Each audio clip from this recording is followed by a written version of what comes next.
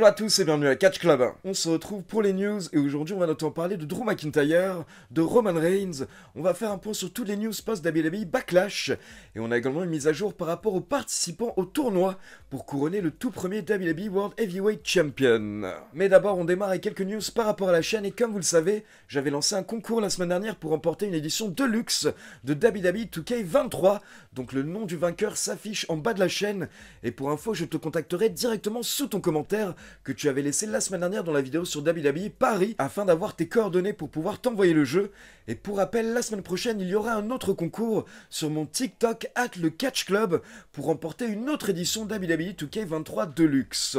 Et pour info, à partir d'aujourd'hui et pendant une semaine, vous aurez une vidéo par jour sur mon compte TikTok avec de nombreux invités car je vais sortir une série d'interviews avec Christophe Agius, Philippe Chéreau, Monsieur Hawkins, Turi, Rabbi Mentor et Kevreker. Et ce sont des vidéos qu'on a pu tourner il y a une semaine à Paris lors d'une journée de tournage pour WWE 2K23. Donc vous allez découvrir plein de choses sur tous ces invités, notamment leur catcheur préféré, le catcheur qu'ils détestent le plus, leur clan préféré, leur ceinture préférée, et même selon eux, qui va être le tout premier WWE World Heavyweight Champion. Donc n'hésitez pas à aller me rejoindre sur TikTok at le Catch Club. Ensuite, lors de la dernière vidéo news, je vous parlais d'un nouveau partenaire qui allait bientôt rejoindre Catch Club. Et eh bien pour info, c'est fait, c'est officiel. Et il s'agit de la boutique officielle de la WWE, donc WWE Shop et WWE Euroshop, avec lesquels j'ai dorénavant un partenariat. Donc sachez que dorénavant, si vous souhaitez passer une commande sur la boutique officielle de la WWE, vous pouvez passer par mon lien affilié que vous trouverez dans la description. Et pour info, je vous tiendrai également au courant par rapport aux différentes promotions qu'il y aura sur le site. Donc actuellement, vous avez le code promo WWE Superstar que vous pouvez utiliser pour avoir moins 20% sur quasiment tout le site. Et donc vous pouvez utiliser le code promo jusqu'à ce soir, jusqu'au 8 mai. Et ensuite, il sera à nouveau valable le 12 et le 13 mai. Donc n'hésitez pas à vous faire plaisir et à profiter de ces codes promo. Et merci à tous ceux qui vont passer une commande et soutenir la chaîne.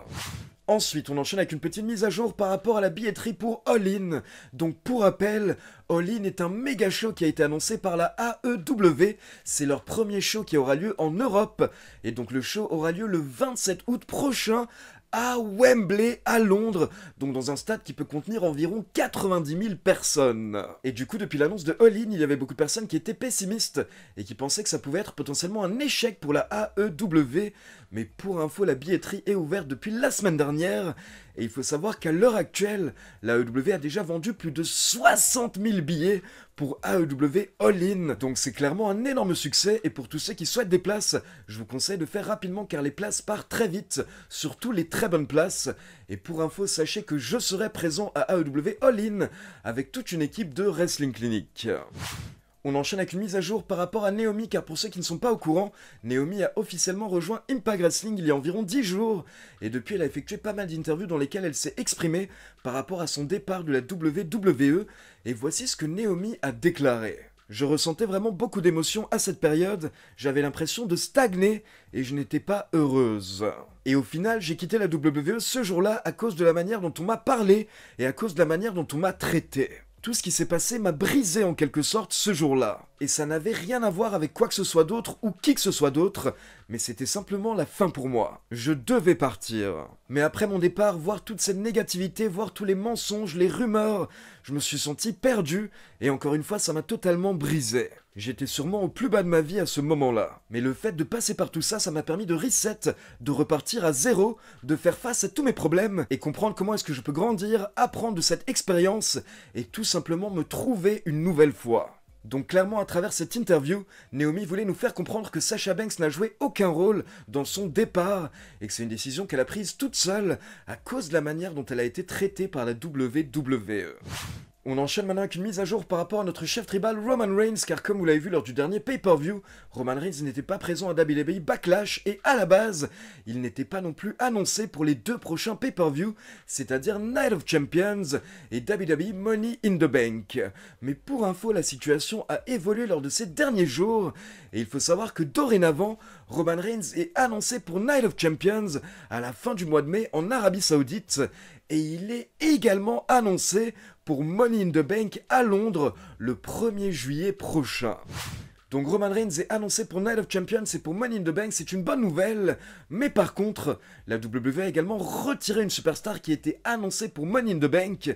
Il s'agit de Drew McIntyre, qui n'est plus annoncé pour le pay-per-view qui aura lieu à Londres le 1er juillet prochain. Et à côté de ça, comme je vous l'ai dit un peu plus tôt, il se trouve que hier, la WWE a annoncé les participants pour le tournoi pour couronner le tout premier WWE World Heavyweight Champion. Et Drew McIntyre ne fait pas partie de la liste des 12 participants pour couronner le nouveau champion. Donc tout le monde se demande mais où est Drew McIntyre? Et est-ce que la WWE ne l'utilise pas à cause de la situation autour de son contrat? Car pour rappel, depuis quelques semaines, il y a des rumeurs comme quoi le contrat de Drew McIntyre va prendre fin d'ici la fin de l'année et qu'à l'heure actuelle, McIntyre et la WWE n'arrivent pas à se mettre d'accord sur un nouveau contrat. Mais à côté de ça, nous avons également certains médias américains qui parlaient d'une potentielle blessure pour McIntyre. Eh bien sachez qu'en tout cas au niveau de la blessure, on n'a aucune confirmation, donc on ne sait pas à l'heure actuelle si McIntyre est blessé ou pas. Par contre, hier, nous avons eu un article de la part de Fightful, et je vous avoue que c'est un article assez flou, mais je vais tout de même vous traduire ce que Fightful a déclaré par rapport à McIntyre. Donc d'abord, Fightful nous confirme à nouveau que le contrat de McIntyre va prendre fin dans quelques mois, normalement début 2024. Et donc d'après les sources de Fightful, McIntyre bossait ces derniers mois en partant un petit peu du principe que ça pourrait être son dernier WrestleMania. Puis Fightful mentionne que d'après certains médias américains, à l'heure actuelle, Drew McIntyre pencherait vers un départ de la WWE, mais Fightful explique que d'après leurs sources, ce n'est pas exactement ça, et d'après les sources de Fightful, en fait, à l'heure actuelle, Drew McIntyre ne sait pas exactement ce qu'il va faire. Et les sources de Fightful déclarent que si la WWE McIntyre n'arrivent pas à trouver un accord pour un nouveau contrat, alors McIntyre serait ouvert au fait d'aller travailler dans d'autres fédérations, mais il voudrait tout de même laisser la porte ouverte à un retour éventuellement à la WWE. Puis Fightful déclare qu'il y aurait une certaine frustration du côté de McIntyre, car apparemment ces derniers mois il n'est plus sur la même longueur d'onde que la WWE sur plusieurs points. Par exemple, habituellement, McIntyre fait partie des stars qui sont toujours informés par rapport à leur storyline et ce qui va arriver à leur personnage, mais là, la semaine dernière, il faut savoir que McIntyre a appris au dernier moment qu'il allait être drafté à Raw quand ça a été annoncé à la télévision, et donc la WWE ne l'a pas prévenu en avance, donc potentiellement on peut imaginer que ça lui aurait déplu. Puis Fightful nous dévoile qu'il y aurait eu des propositions en coulisses pour que McIntyre effectue son retour, mais en tant que heel, en tant que méchant, sauf que d'après les sources de Fightful, il se pourrait que McIntyre soit contre l'idée, car apparemment McIntyre est très impliqué dans ses storylines, il donne beaucoup son avis, et si jamais il y a un changement au niveau de sa gimmick, il veut qu'il y ait de vraies raisons et de vraies motivations pour que son personnage évolue. Et donc au final, comme je vous l'ai dit, malgré cet article de Fightful, nous n'avons toujours pas de vraie mise à jour par rapport à la situation de McIntyre, donc pour le moment je dirais wait and see, on va attendre et voir ce qui se passe, en espérant qu'au final les négociations entre la WWE et lui se passent bien, et qu'on puisse le revoir rapidement à la télévision. On enchaîne avec quelques news par rapport à Backlash et d'abord il faut savoir que d'après Fightful, la WWE et les officiels étaient ravis du match entre Bianca Belair et Io Sky et apparemment, une fois que les deux catcheuses sont retournées en coulisses, elles ont reçu une ovation de la part des officiels et des autres superstars qui étaient présentes en coulisses. Ensuite, comme vous le savez, la star de Backlash était Bad Bunny qui nous a sorti un match phénoménal et une entrée inoubliable. Et pour info, il faut savoir que Bad Bunny s'est entraîné pour ce match avec son adversaire, avec Damian Priest et également avec Brian Kendrick. Et il faut savoir qu'à la base, pour Backlash, la WWE avait prévu un match par équipe avec Bad Bunny et Rey Mysterio contre Damian Priest et potentiellement Dominic ou Finn Balor, mais au final les officiels se sont rendus compte que Bad Bunny était clairement assez entraîné pour pouvoir avoir un match solo, ils avaient confiance en fait au niveau de Bad Bunny, et on peut dire qu'ils ont eu totalement raison car je le répète, mais Bad Bunny a tellement géré le week-end dernier lors de Backlash. Ensuite, apparemment les officiels étaient également très heureux du retour de Carlito, et la réaction qu'a obtenue Carlito à Backlash était encore meilleure que ce à quoi la WWE s'attendait. Et pour info, il faut savoir que ces deux dernières années, depuis sa dernière apparition au Royal Rumble 2021, apparemment il y a eu plusieurs pitchs en coulisses, plusieurs propositions, afin de ramener à nouveau Carlito, que ce soit pour des petits runs ou même à temps plein. Mais là en tout cas, Fightful nous confirme que son apparition à Backlash était une apparition pour un soir uniquement. Par contre, pour info, derrière, Carlito a effectué plusieurs interviews où il a déclaré qu'il est totalement ouvert pour revenir à la WWE et pour faire plus. Mais le problème, c'est que ces deux dernières années, on ne l'a pas appelé, donc il ne va pas passer son temps derrière le téléphone à attendre un appel de la WWE. Ensuite, on passe au match entre Cody Rhodes et Brock Lesnar, et là Fightful nous dévoile que d'après leurs sources, il devait y avoir du sang lors de ce match, c'était prévu par la WWE, mais Fightful ne peut pas le confirmer à 100%. Mais donc on peut supposer que Brock Lesnar a sûrement reçu une autorisation de la part des officiels pour qu'il s'explose réellement la tête contre le turnbuckle afin de saigner pendant le main event.